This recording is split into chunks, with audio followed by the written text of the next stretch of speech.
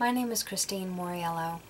In January 2014, I was diagnosed with psychogenic non epileptic seizures, PNES, also known as non epileptic attack disorder, NEAD.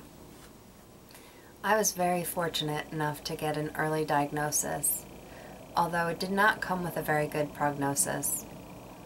After running all the tests that the hospital could run, they sent me home with that diagnosis. And the only treatment that was available was a prescription to find a stress free environment. That doesn't exist.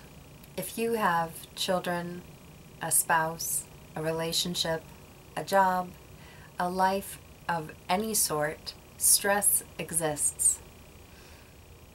What we need to do is see what it is that we are doing with that stress, which is generating these seizures. It took me a couple weeks in order for the seizures to start dwindling down in numbers. In the first month, I had about a hundred seizures, grand mal seizures. Over the next three months, they went down quite substantially. And the following three months, I had maybe one seizure every couple of weeks, up to the point where the seizures were discontinued. In total, it took about six months to get to that point.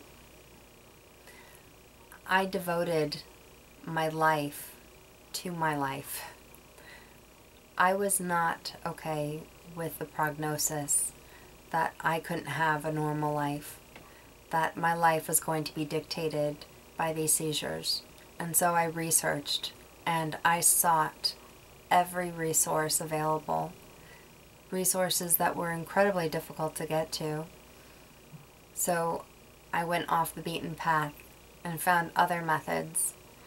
I looked into other treatments that may not even be associated with treatment for PNES, but I found results I've been in a remission for almost a year and a half. And despite having turbulence in my life, I'm able to live my life on life's terms without having fear of having these seizures. I want to help individuals who are looking to mitigate their own PNES, who are looking for recovery, who believe it's possible, if you believe it's possible and you are interested in working one-on-one, I'm going to put my information in the description below. Please contact me. I look forward to speaking with you.